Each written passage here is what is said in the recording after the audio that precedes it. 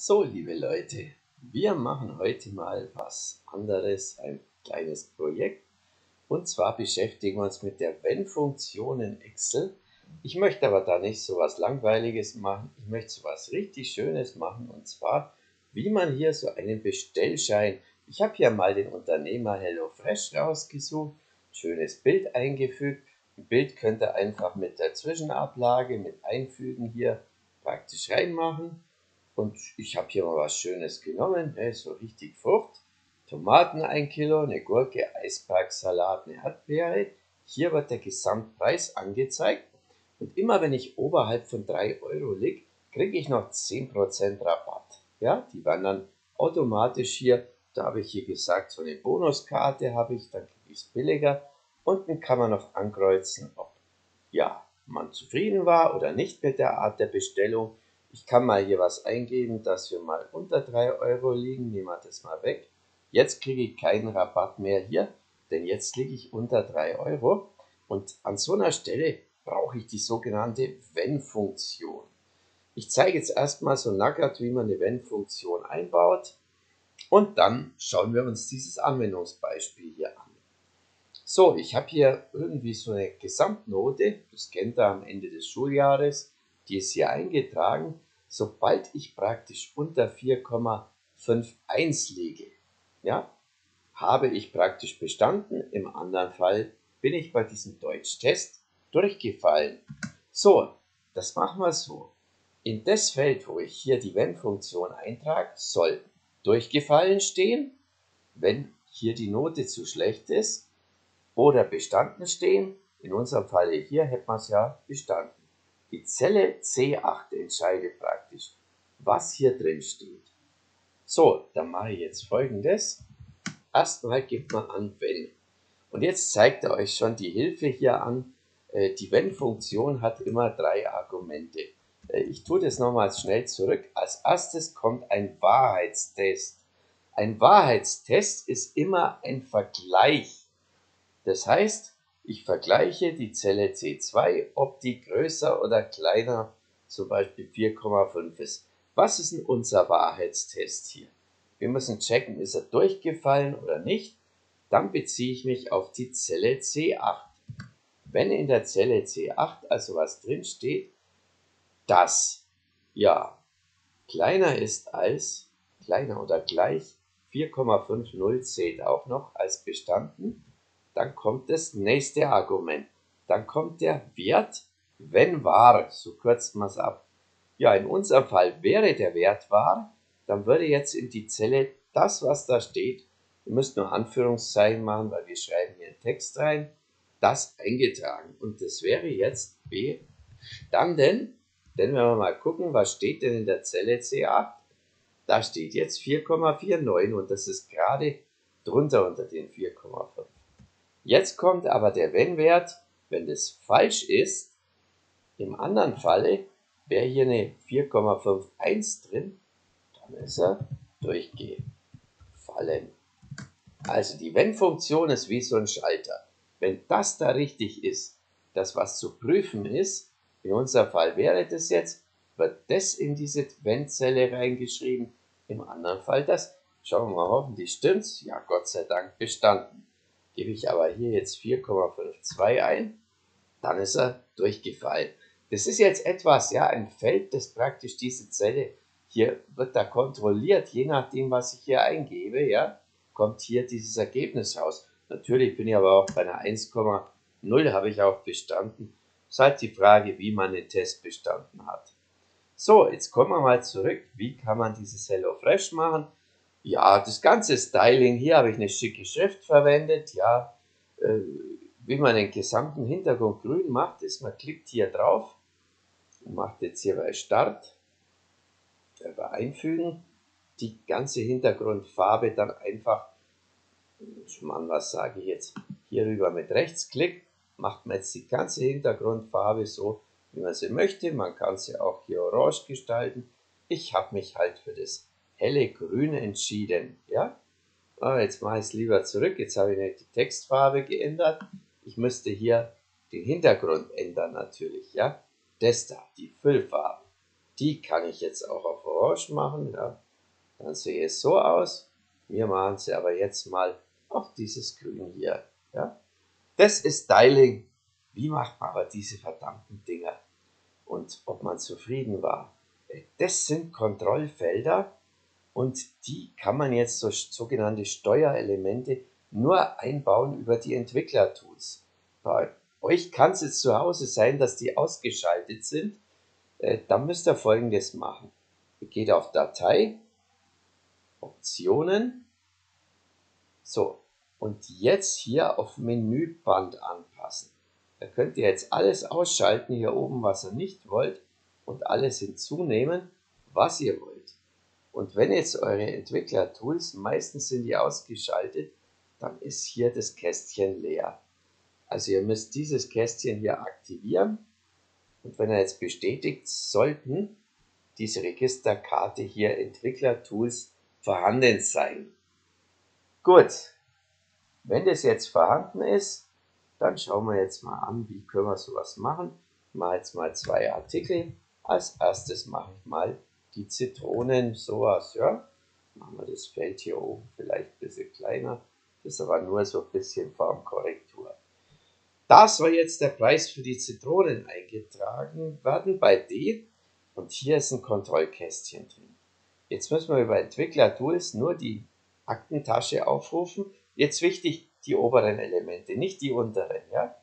Ich will hier sowas, so eine Checkbox, ja, wie man die auf kurz nennt. Draufklicken, die Checkbox groß genug machen und jetzt stört oft der Text da.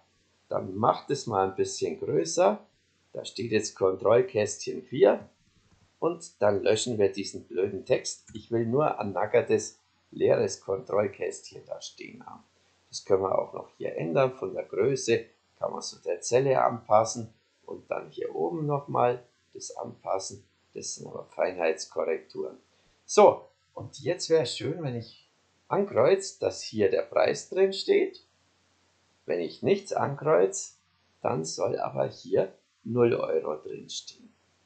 So, was ich da mache ist, hm, ich muss einen Zellbezug. Diese Zelle hat den Wert wahr, wenn sie angekreuzt ist und falsch, wenn sie nicht angekreuzt ist. Problem ist aber, der Wert sollte in eine Zelle reingehen. Dann klickt man mit rechts auf die Zelle Formatieren Steuerelement. Und jetzt habt ihr hier verschiedene Registerkarten. Ihr braucht eigentlich bloß eine, nämlich die Steuerung. Hier könnt ihr einen Zellbezug herstellen. Und ich will jetzt, dass der Wert dieses wahr oder falsch in E12 erscheint. So, dann klicken wir mal da drauf. Jetzt seht ihr, jetzt kann ich wirklich dieses Steuerelement kontrollieren. Ich weiß, wenn ich was ankreuze, hat es den Wahrheitswert, den logischen Wert wahr. Wenn es leer ist, dann hat es den Wert falsch.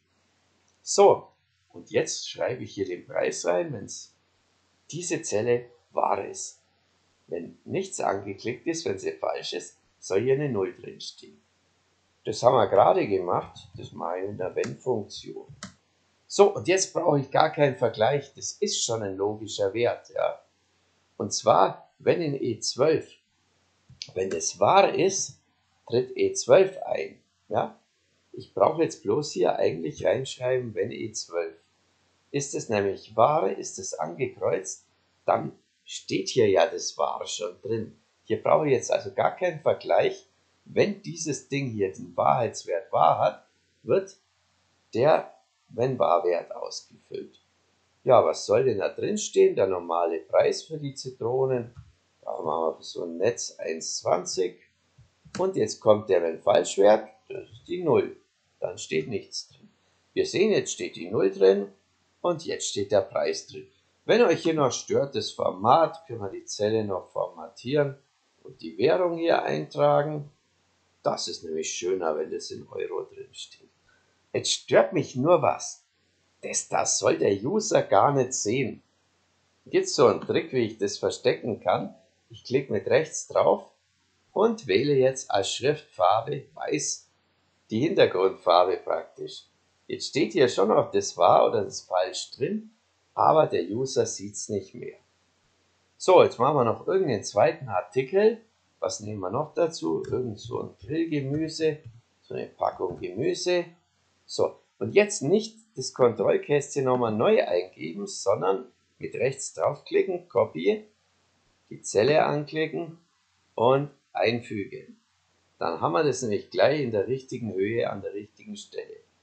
So, jetzt machen wir wieder eins. Jetzt kommt wieder hier das Wert eintragen, also Steuerelement formatieren. Achten, dass man auf der Registerkarte Steuerung drin ist. Jetzt steht es in E14 drin. Hier steht es wahr oder falsch. Machen wir das hier. Genau. E14. So. Jetzt müsste es in E14 erscheinen. Also erst wenn ich es aktiviere jetzt, wahr oder falsch, dann machen wir doch da wieder die Hintergrundfarbe weiß. Da brauche ich jetzt bloß da draufklicken und tragen die Wenn-Funktion nochmal ein. Mehr Artikel sind dann keine Schwierigkeit, wenn diese Zelle da erfüllt ist, wenn da ein Bar drin steht, also wenn das angekreuzt ist, trage ich den Preis. Mischgemüse ist ein bisschen teurer, ansonsten die Null. Und fertig ist das Ganze. Kann ich Gemüse, Zitronen bestellen, beides oder nur eins von beiden. Jetzt fehlen noch die Gesamtrechnung. Was steht denn da drin? Ja, das haben wir schon so oft gehabt. Die Summe, Summenfunktion von dem Ganzen hier. So, wenn wir jetzt beides ankreuzen, haben wir 460. So, Bonuskarte das ist jetzt so eine treue Sache für Kunden. Da brauchen wir wieder eine Wenn-Funktion. Nämlich, ich mache es so, wenn der Preis über 3 Euro liegt oder über 2 Euro. Also, wenn dieser Preis größer ist als 2 Euro, dann gewähre ich einen Rabatt und zwar von 10%. Ein bisschen blöd, da muss ich vom aktuellen Preis rechnen. Minus 10% von, also mal dem aktuellen Preis. Ihr könnt hier auch machen 90% mal Desktop. Gibt das gleiche. Und hinten wird, ja, wenn wir keinen Rabatt gewähren, wenn es falsch ist, die 460, also einfach nur das, was vorher schon drin war, eingetragen. Jetzt sehen wir, ah, jetzt kriege ich einen Rabatt. Vielleicht schalten wir das bloß wieder um. Formatieren in Währung, dass da auch die Währung drin steht. Und dann haben wir jetzt alles. Ja, gehen wir mal unter 2 Euro. Hedge. Jetzt kriege ich keinen Rabatt. So, jetzt wäre noch dieses Zufrieden. Wie macht man das jetzt? Da braucht man jetzt keine Check, also keine solche Box hier, ja, so eine Checkbox. Da braucht man einen Radio-Button. Der Unterschied ist der, bei Radio-Buttons kann man nur einen von beiden anklicken. Hier kann man beide anklicken. So, also machen wir wieder die Aktenmappe holen uns den Radio-Button. Ich passe den immer ganz gerne an die Zelle an. Eigentlich heißt sie Optionsfeld. Das wollen wir aber nicht, dass dieses Optionsfeld der Text erscheint. Was soll denn für uns entscheiden? Das Ja soll da stehen oder das Falsch. Ja, genau. Passen wir das mal an und das kopiere ich gleich. Mache hier einfügen. So, und dann brauche ich bloß hier den Text zu ändern in Nein, ich war nicht zufrieden. Normal macht man da jetzt noch ein drittes Feld, ja, sehr zufrieden. Ach, ihr kennt diesen Witz ja alle, ja. Jetzt kann ich das anklicken. Wenn ich Nein aber anklicke, wird der andere sofort deaktiviert. Tja, und jetzt bin ich eigentlich fertig. Das andere ist bloß so ein Design, so eine Designgeschichte. Probiert's doch mal aus, das Ganze, ja? Ihr habt jetzt da etwas länger Zeit, das zu bearbeiten. Versucht es mal. Ich glaube, das ist auch ein nettes Projekt. Ihr könnt auch für irgendwas anderes einen Bestellschein machen. Ja, ja für eine Drogerie oder für eine Tiernahrungshandlung oder irgendwie sowas. Das war's dann. Bis zum nächsten Mal. Tschüss.